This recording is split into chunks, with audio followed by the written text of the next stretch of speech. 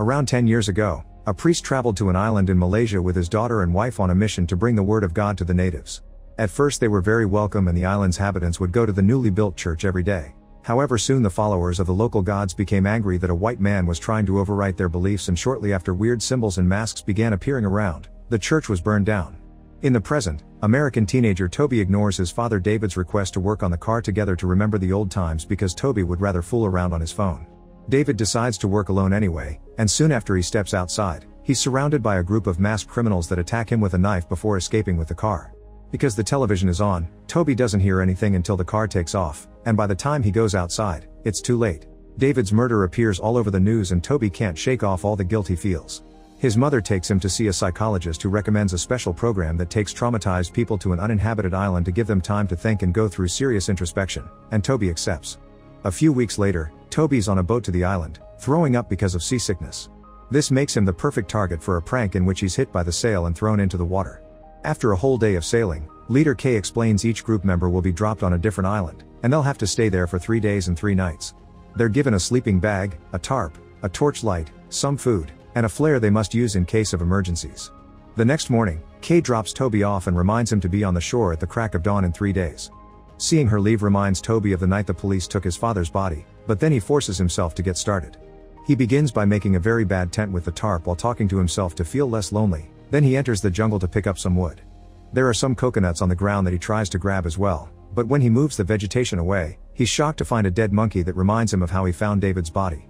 He decides to return to his tent without the coconuts, only to discover another monkey has eaten half of his food. Then he tries to start a fire, but he fails and only manages to hurt his hand. Afterward, Toby walks into the water to see if he can catch some fish.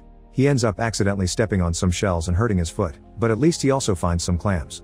His foot bleeds in the water and this blood reaches one of those mysterious masks at the bottom of the sea. Later, Toby uses his Swiss knife to open the clams and discovers it comes with a magnifying glass which allows him to finally start a fire. When night falls, Toby has the clams for dinner, but they make him feel sick. After throwing up, Toby walks into the jungle with the torch light to look for those coconuts in order to have a drink, but when he finally finds them, he hears someone running behind him among the trees. By shaking his torchlight around, Toby finally gets to see that the source of that noise is a creepy face behind a tree that suddenly runs off. Terrified, Toby runs back to his camp and lights the flare before he passes out as memories of his father's death flood his mind. During the night, the high tide takes most of Toby's things away. The next morning, Toby mysteriously wakes up resting against a tree, and there are already cut coconuts waiting for him. After having a good drink, Toby's shocked to notice there's a girl in the water, and when she tries to leave, he follows her. The girl suddenly turns around with a knife in hand, but it turns out she doesn't want to attack Toby, she's just following the sound of an animal trapped in one of her many traps. Madeline explains they can't stay there because it's dangerous, so Toby follows her after noticing exactly how deadly those traps are. He has lots of questions for Madeline, but she doesn't talk except to share her name. They make it to a dam that was built by missionaries, and Madeline starts a fire to cook her catch and share it with Toby. When they're done, Madeline announces she's going home and that Toby can't follow her. Toby tries to anyway, and Madeline suddenly takes her knife out again, but it's to kill a snake that almost kills Toby. Before leaving for good, she advises him to stay close to the fire because it keeps the animals away, and Toby follows her instructions, falling asleep inside a makeshift shelter that was already on the dam. That night, one of his dad's killers finds Toby and attacks him, but it turns out to be just a nightmare. Now awake, Toby notices the fire's out and tries to start a new one, getting nervous as he keeps hearing noises in the darkness. Thinking it may be Madeline, Toby enters the jungle and finds some thread that shakes some weird decorations on a tree when he pulls it. The creepy figure appears behind Toby and tries to come closer, but as soon as Toby turns around, the creature is gone. The next morning, Toby wakes up in the shelter to find Madeline already cooking breakfast. She notices the wound on his foot and takes him with her to find a special plant that will help with it. She also shares she's been on this island since she was a child and it's only her and her mother left because her dad died. When they find the plant, Madeline applies it to Toby's wound, explaining you can't eat it unless you want to fall asleep. When she puts a bit of it on Toby's lip to prove her point, Toby realizes his lips now numb. The teens spend the day together, and Madeline teaches Toby all she knows about surviving on the island, from fishing to making a shelter. In return, Toby tells her about things like high fives and the internet. When night falls, Madeline has to leave again, and Toby notices she's going in the direction of the tree with the weird decorations. Madeline leaves him a spear she made so he can protect himself and explains that if he comes with her, her mother will kill him. She promises they can see each other again in the morning, but Toby explains they'll pick him up at dawn and this hurts Madeline, who feels she's being abandoned. Madeline runs to her home in the tree and Toby stays behind to try to talk to her, so when Kay arrives at the beach at dawn, she doesn't see the boy anywhere. Kay could hear Toby yelling Madeline's name and enters the jungle with her torchlight out to find him. But when she begins hearing weird noises among the trees, she trips and falls, losing the torchlight in the process. Suddenly, Kay finds herself blinded by her own torchlight, but when she comes closer to see if it's Toby, the light goes out and the torchlight is thrown on the ground. When Kay reaches out to grab it, she notices two glowing eyes in the dark and without notice, a paw appears on top of her hand. For a few minutes, the only noise in the dark is Kay screaming. The next morning, Toby wakes up realizing he fell asleep while calling out for Madeline so he must rush to the beach, but he finds it empty. He sits to wait just in case anyway, and after a few hours, he notices a life buoy floating around. When he enters the water, he finds a whole trail of objects, and he follows it to find Kay's boat floating upside down. To his surprise, Madeline's mother is swimming out of it with Kay's supplies. Once the woman is out of sight, Toby swims inside the boat to investigate and finds two flares inside a cabinet, but to his dismay, he finds also Kay's body behind a door. Terrified, Toby begins swimming away before he runs out of air, only to get his clothes stuck on another door. Fortunately he manages to untangle them and return to the surface just in time. Afterward, Toby enters the jungle and finds Kay's torchlight with a weird scratching mark on it. Using this torchlight, he decides to go through the entrance of Madeline's tree and discovers a rocky tunnel filled with bats and weird noises. The creepy creature approaches him from behind again and makes Toby drop the torchlight, leaving him in darkness. The noises begin getting closer, so Toby searches the ground until he finds the torchlight and turns it on again, which allows him to suddenly see some really creepy drawings on the walls. Moments later, Toby finds the end of the tunnel and comes out to find what is left of the old burned church. He also hears a goat bleeding, and when he goes to check, he finds Madeline's mother killing it for food. Then he keeps looking around and finds the cabin where both women live. Inside, he finds Kay's empty bag, a box with three passports, and an old picture that indicates Madeline and her mother are the family that came with the priest all those years ago. There's also a can of gasoline, and most importantly Kay's radio, which Toby immediately uses to call for help. He only gets one hello from the other end before the line goes dead, and at that moment, Toby has to run and hide under the bed because Madeline and her mom are back. While the mother prepares a special concoction with the dumbing plant, she has an argument with Madeline because she thinks her daughter isn't ready to go out there. When Toby moves further under the bed not to be seen, he's shocked to find an extremely creepy mask and realizes this is the face of the creature that attacked him before. As soon as the mother leaves the room, Toby approaches Madeline, but Madeline reminds him this is dangerous and promises to meet him at the beach later. Toby makes his way back to the beach and uses everything he's learned to catch some fish and start a fire.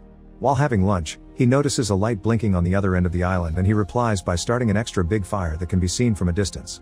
In the evening, Toby's trying to sleep when he's suddenly startled by Madeline, who had thought Toby would be gone by now. He explains Kay's dead and that he thinks the mother killed her, causing Madeline to rest her head on Toby's leg and share the few things she remembers from her childhood. She used to be happy living with her family and playing with the local kids, but one day something happened, and she only remembers being in a corner crying while her mother, covered in blood, told her not to look. Madeline admits she sees terrible things at night and that her mother probably killed them all. Toby asks Madeline if she wants to run away with him because they'll probably send a new boat soon, and Madeline accepts, but she'll come back tomorrow to avoid her mother getting suspicious. The next morning, Toby wakes up when he hears a plane flying by, but by the time he runs after it, it's already gone. However, this run has allowed him to find an abandoned lighthouse that he proceeds to investigate. Unfortunately, the light isn't working, and when Toby checks out its inner workings, he remembers all the things David taught him about taking care of cars. This allows him to understand the light needs gasoline. Then Toby begins making his way back to the beach when he suddenly bumps into someone. It's Cameron, another one of the guys that signed up for the service. He was never picked up either, but he did find a rowboat, so he used it to try to find other people because his own island's definitely empty. Toby shares some food and tells him about his experience while making a new spear, which he uses to threaten Cameron when he points out that trusting a crazy pair of murderers is dumb. After apologizing, Toby explains he refuses to leave Madeline behind because she's also a victim and goes looking for her. Moments later, he makes it to the house, only to be caught by surprise by the mother. The woman takes the spear from Toby and lets him go to try to make him see reason, but Toby runs away. Mother runs after him and accidentally falls into one of Madeline's traps, leaving her stuck between a tree and a thicker spear. Knowing she doesn't have much time left, the mother explains to Toby that she didn't kill anyone. She's only been trying to scare people away because the crazy murderer is actually Madeline. All those years ago, the locals tried to warn them that something evil was on the island, but the priest didn't believe them and tried to depend on the word of God. While he and his wife argued with the natives, Madeline took the chance to wander and approach the altar where the locals killed animals as an offering. This allowed the demon to use the child as his vessel in a ritual that matched the drawings Toby saw in the tunnel. It was Madeline that killed everyone in the church and burned it to the ground, only leaving her beloved mother alive. Mother then gives Toby the special plant in a bag to subdue Madeline and points out that she doesn't like the light when she's demonic. Before dying, Mother reminds Toby that Madeline shouldn't leave the island. Meanwhile, Cameron is waiting at the camp when he suddenly hears some weird noises. He enters the jungle to investigate and comes across a bunch of bones on the ground that distracts him from seeing the real danger. A demonic Madeline appears right next to him and drags him away through the trees to kill him. By the time Toby comes back, only Cameron's blood's left. A noise suddenly makes him turn around and he sees demonic Madeline coming closer with her mother's body, but she becomes human again when she realizes Toby's a friend. She demands to know what happened to her mother, and in order to keep her calm, Toby says he did it so they could be together. This makes Madeline happy and she kisses Toby, pushing him to the ground to get frisky. Toby loses the little bag with the special plant when he falls, thus he pretends to be into it to be able to recover it. When Madeline notices, she growls and begins to change, but Toby manages to find her spear and uses it to knock her out. Then, he puts the plants in her mouth to keep her subdued and uses some vines to tie her up. Afterward, Toby runs to the house to grab the gasoline and prepare a torch that lights his way back to the lighthouse. He leaves the torch at the door to keep animals away then goes upstairs to finally turn on the light while remembering the time his dad taught him how to start a car. While Madeline begins to stir, Toby waits for a boat, but seeing nobody is close, he decides to leave. When he makes his way down, the stairs break, causing Toby to fall and spill the gasoline all over the floor. It also makes him discover the special plant grows here as well. At that moment, the door closes on its own, and as soon as the rotating light is pointing in the opposite direction, demonic Madeline sneaks into the shadows to attack. Toby manages to grab some of the plant before he's dragged away, but Madeline's too strong and when he tries to use the plant on her, she turns his hands around to make the juice fall on his eyes instead.